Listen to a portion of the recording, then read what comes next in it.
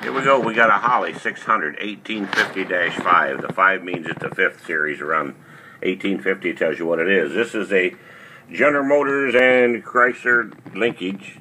You can bolt a Ford kickdown if you want to on it.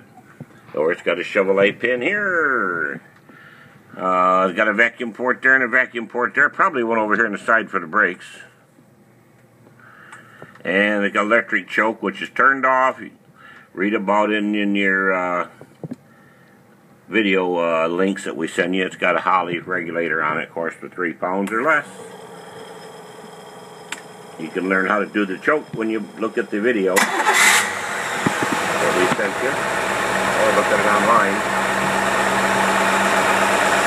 Okay, we got the mixture set at 12 to 1, which is the perfect mixture for a good clean burn.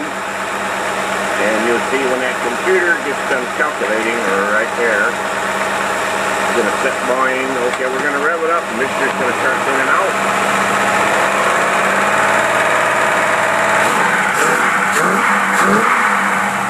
The reason that the mixture thins out like you see right there is because you don't need the biggest fire going on in there to keep your vehicle going.